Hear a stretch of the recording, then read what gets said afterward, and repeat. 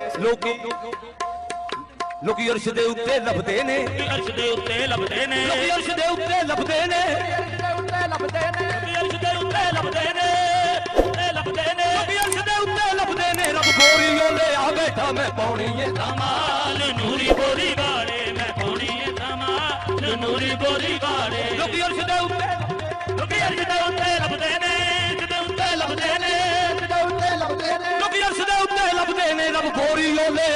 मैं पौनी ये तमाल नूरी बोरी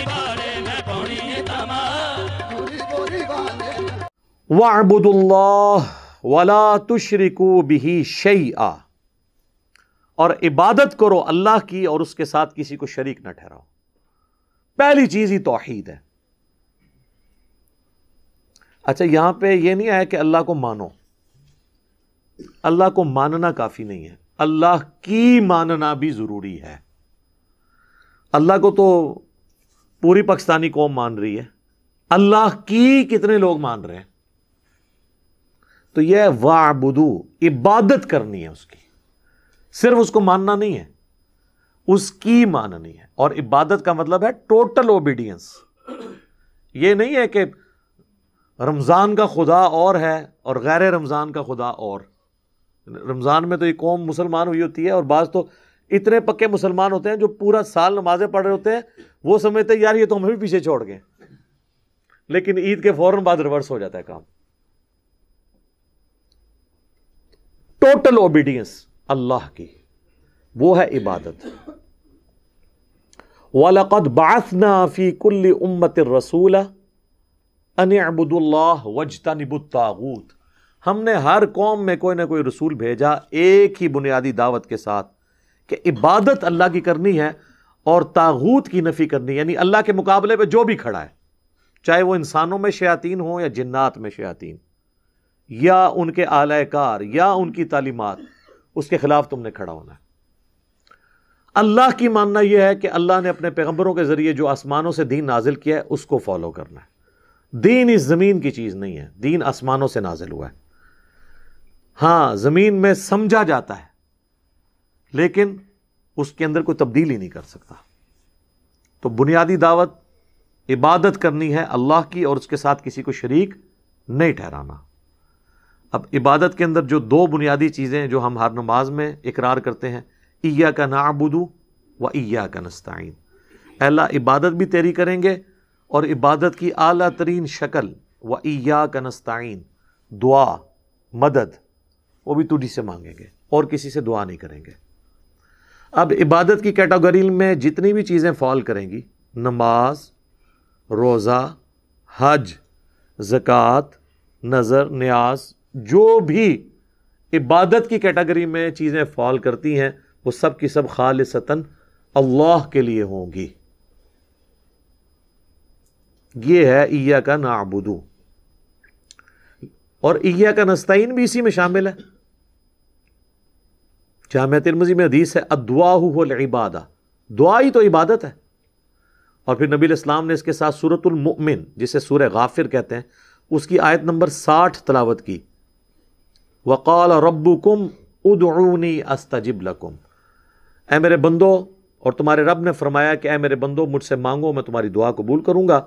बेशक जो मेरी इबादत से तकबर करते हैं बात दुआ की हुई और ज़िक्र आया, इबादत से तकबर करते हैं। यानी जो दुआ मांगने से कतराते हैं, मैं उन्हें जरीलो ख्वार करके जहन्नम में दाखिल करूँगा।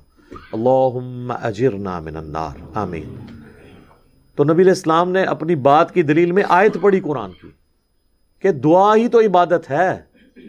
अब अल्लाह को पता था सबसे ज़्यादा शिरक होना ही दुआ में देख लें, जो अल्लाह की नमाज़ भी पढ़ रहे हैं ना, नमाज़ के बाद वो भी कह रहे हैं, अलमदद यागो से आज़म। उनको ये नहीं पता कि ये शेख अब्दुल कादर जरानी की इबादत हो रही है। वो कहेंगे, नहीं जी, मैं इबादत तो अल्लाह की करता हूँ। तो उनको बताना है कि ईया का नाबुदू के साथ ईया का नस्तीन को अल्लाह ने इसीलिए अलग करके बयान किया था कि ये छुप जाना था बीच में ही। जब अपने लोगों को कहना था ना, इबादत में ही मदद मांगना भी शामिल है, उन्होंने कहना सी यदि तक नहीं लिया तो जिस चीज़ में शिरक होना था, अल्लाह ने उसको अलग से बीच में ज़िक्र कर दिया, वह ईया का नस्ताइन इबादत भी तेरी करते हैं और इबादत की आला तरीन शक्ल दुआ भी तुझी से मांगते हैं। कहते नहीं, वो ठीक है, ये तो है, तुझी से मांगते हैं। ये तो नहीं है कि किसी और से नहीं मांगते।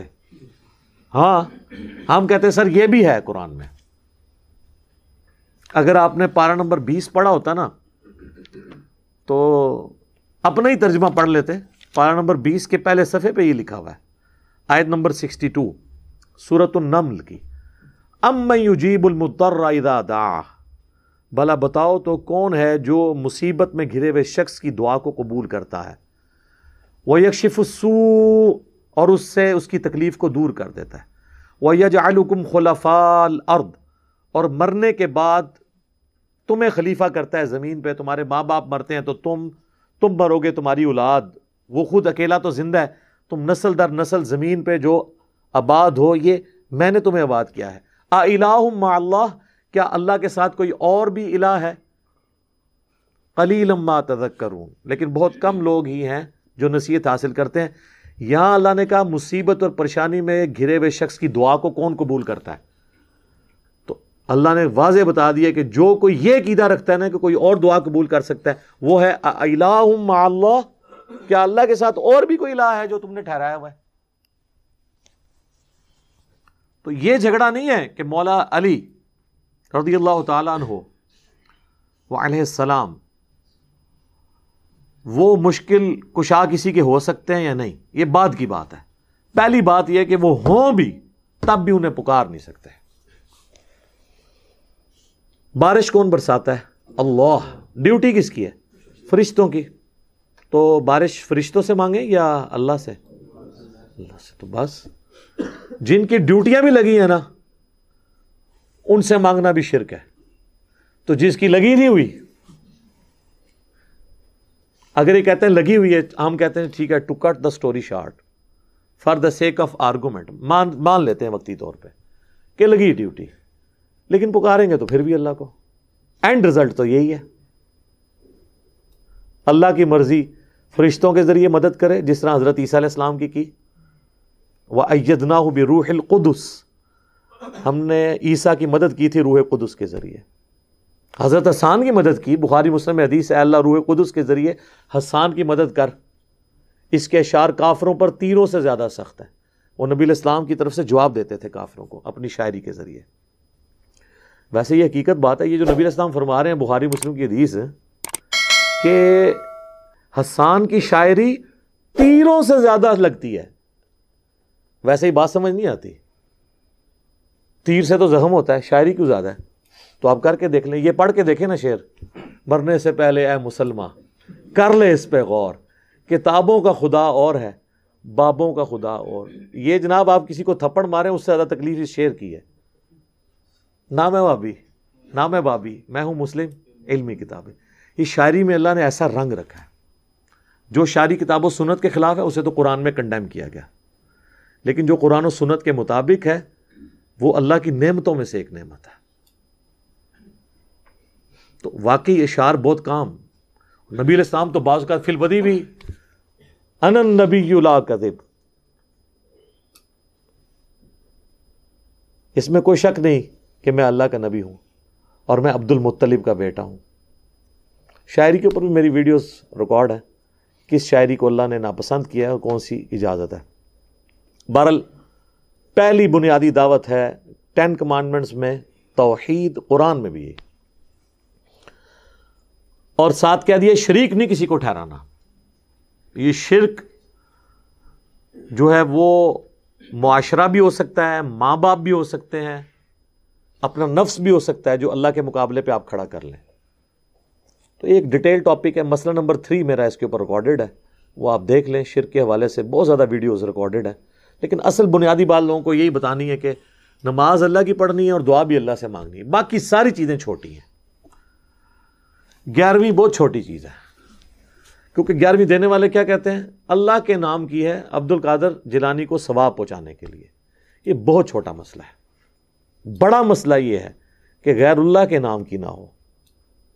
मैत की तरफ़ से कोई सदका और खैरात कर सकता है इसके ऊपर कोई इख्तलाफ राय हो सकता है, लेकिन ये शिर के लेवल की चीज़ नहीं है। लेकिन अगर कोई कहे कि मैं सदका और खरात करूँ और अब्दुल कादर जिलानी मेरी मदद करेंगे, या मैं दाता दरबार पे दूध ग्यारहवीं के ऊपर चढ़ाऊँगा तो मेरी भैंसें जो हैं वो दूध देना बंद नहीं करेंगी तो अब ये सीधा सीधा शिरक हो जाएगा। क्योंकि अकीदा आपने गलत जोड़ लिया। ये ऑस्ट्रेलियन गाय जो है वो किस मज़ार पे जाती है? कोई अजमेरी को बगदादी को लाहौरी गाय भी है जी दुध हो जो ऑस्ट्रेलियन गां देंदी है तो ऑस्ट्रेलिया सब तो बड़ा बुज़ुर्ग हो गया फिर से ये दुनिया बकदर एफर्ट है जिसने कोई एफर्ट पुट की है वो दुनिया में लई सलील इंसान इल्ला मासा जो कोशिश करेगा ये अल्लाह की गायें हैं अल्लाह की भैंसें हैं और अल्लाह ने इंसान को अकल दी है उनकी सही तरीके से खुराक और परवरिश की जाए और बाकी जो साइंटिफिक फैक्ट्स अल्लाह ताला ने इंसानों को बताए हैं उसके ज़रिए इंसान ने तरक्की कर ली है। इसमें तो बुज़ुर्गों को तो कोई लेना देना ही नहीं है। आप यकीन करें, आप ज़रा यूट्यूब के ऊपर वीडियोस देखें फार्म हाउसेस की न्यूजीलैंड के ऑस्ट्रेलिया के। इतनी इतनी खूबसूरत बकरियाँ हैं वो। एक तरह के साइज़ की, और वो ऐसी ट्रेंड बकरियाँ हैं, वो जाके मशीनों पे खुद खड़ी होती हैं। उनका दूध दोया जाता है, दूसरी तरफ़ से बाहर निकलती हैं। हमारी कोई मज़ार वाली बकरी तो इस तरह का दूध दे ही नहीं सकती इतना ज़्यादा। ना वो इतनी खूबसूरत होती है। और उन्होंने तो लाखों की तादाद में फार्म हाउसेज में रखी हुई हैं। तो वो किधर से आ गई हैं? ठीक है ना? वो अल्लाह ताला की बकरी हैं। पैदा अल्लाह ने ही की हैं। बाकी उन्होंने जो साइंटिफिकली उन्होंने अपनी इनपुट दी है, अल्लाह ताला ने उसमें बरकत डाल दी। वबिल वालदेन एहसाना, और अपने वालदेन के साथ एहसान की रविश इख्तियार करो। कुरान में मेनली बड़े बड़े चार मकाम जो मैंने बताया टेन कमांडमेंट्स में, चारों जगह पर तोहीद के बाद पहला हक अल्लाह ताला ने माँ बाप का रखा है। यहाँ पे तो मुख्तसर बात है, लेकिन बाकी जगहों में मिलेगा कि अगर वालदेन तुझे उकसाएँ इस बात के ऊपर कि तू अल्लाह के साथ किसी को शरीक ठहरा तो फिर माँ बाप का भी कहना नहीं मानना। यानी माँ बाप का हक भी अल्लाह के हक के अंदर अंदर है। दुनिया में मारूफ तरीके से उनके साथ चलना है। इवन माँ बाप काफिर भी हों तो। असमा बिनते अभी बकर, जो हज़रत अबू बकर की बेटी थी, उनकी माँ काफिरा थी।